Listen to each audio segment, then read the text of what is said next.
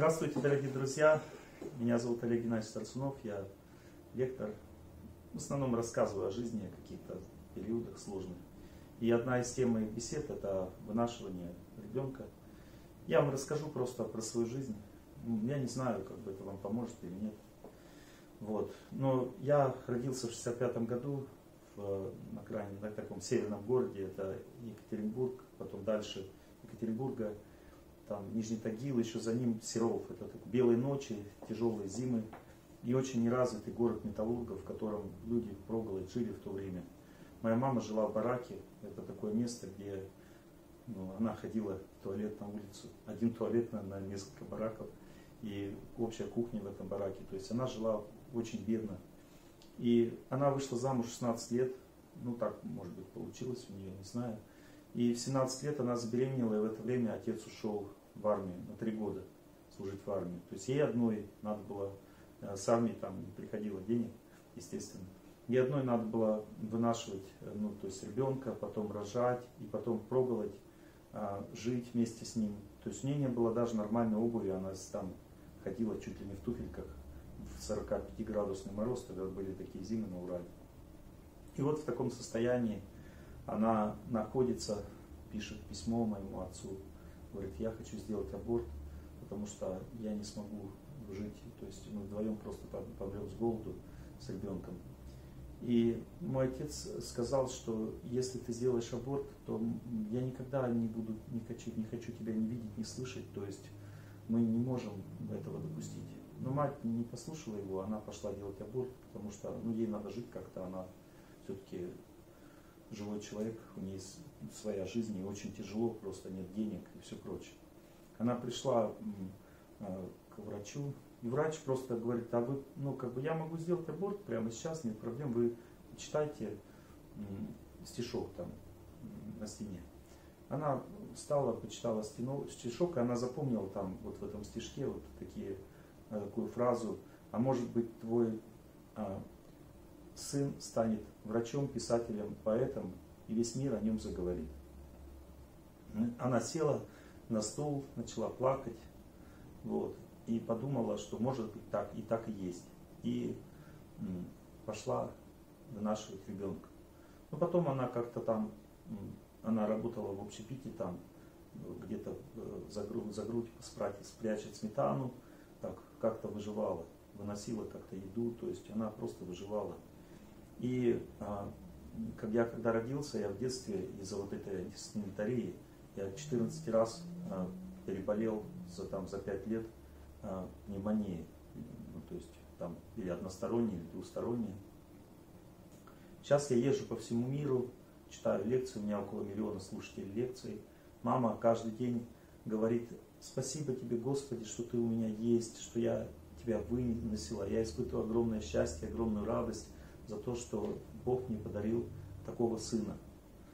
Вот. Я вам рассказываю про свою жизнь и а, просто для того, чтобы вы поняли, что а, в, этом жи- в этом мире иногда все кажется вот так, а получается совсем иначе. И а, причина это сама жизнь. Ну то есть, если говорить, допустим, языком священных писаний, разных традиций, то там говорится, что сам ребенок он вместе с собой приносит судьбу. Ну, допустим, вот точно так же, как, допустим, вот кузнечик, когда прыгает, Бог ему сразу дает пищу. То есть кузнечик, он не устраивается на работу, там, он просто получает пищу и спрашивается, где он рождается, этот кузнечик. Там, есть его пища. Ну, то есть всегда каждое живое существо получает пищу просто потому, что оно, э, оно зависит от Бога. То есть Господь заботится обо всех. Что дает ребенок вообще, вот семью? Естественно, что сам ребенок, его судьба сама позаботится о его пропитании. Если он уже рождается, значит в этом есть какой-то смысл. Дальше. Ребенок дает бесконечное счастье родителям. Вот если, допустим, два человека вместе живут, приходит время, 7-8 лет, это уже доказано, и отношения начинают портиться, люди устают друг от друга, там разборки какие-то. Если рождается ребенок, это новое счастье, это как будто семья заново родилась. Столько счастья, столько радости приносит этот ребенок просто потому, что родители э, подарили ему жизнь дают возможность ему вырасти, стать хорошим человеком. Это новая цель жизни, это новое счастье, это новые перспективы. И поэтому люди э, рождают детей. Поэтому в древней культуре говорилось, не надо лишать себя этого счастья.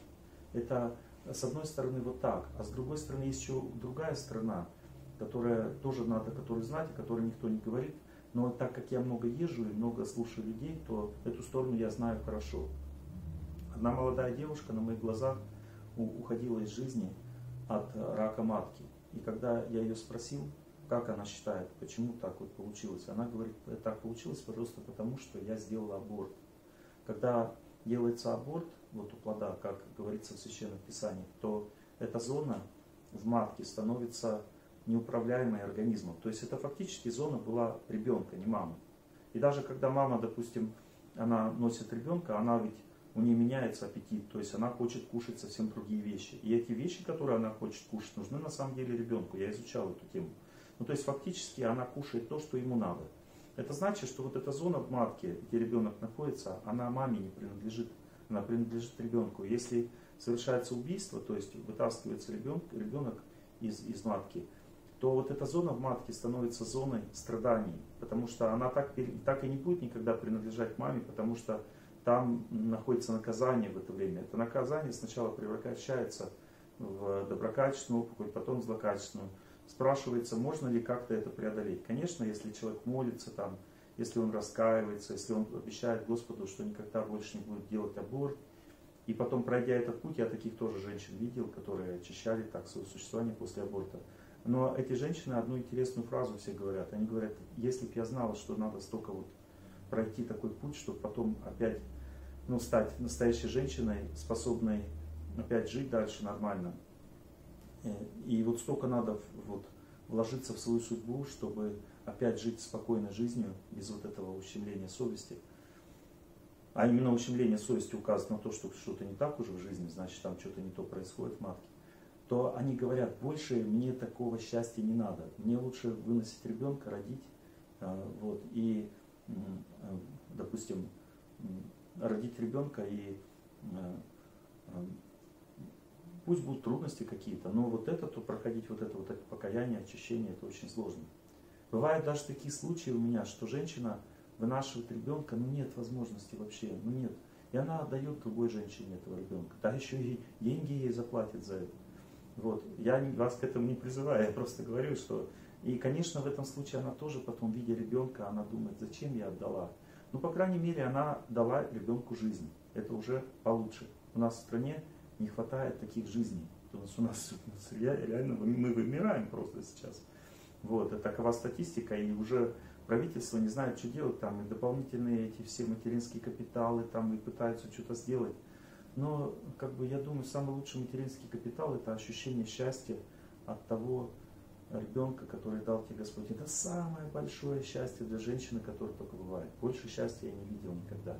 И это, когда человек счастлив, удача сама к нему приходит. Вот, допустим, кто устраивается на работу? Вот человек приходит на работу радостный, счастливый, его сразу возьмут. А если он пришел несчастный, ну, допустим, после аборта, может быть, его и не возьмут. Ну, то есть, счастье это всегда залог успеха. И ребенок является таким залогом успеха. На лицах родителей счастья они развиваются в обществе, им легче устроиться на работу, легче работать, их больше любят люди вокруг. Все, кого любят, у того счастье.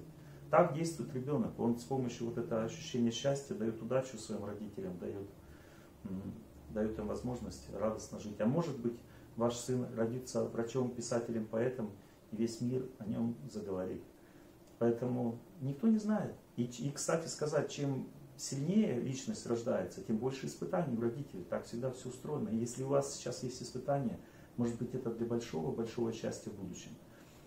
Я не против того, что вы будете делать дальше. Сами решите, как вы будете жить, как будете действовать. Я просто рассказал вам про свою жизнь и про некоторые истории тех людей, которые мне встречались.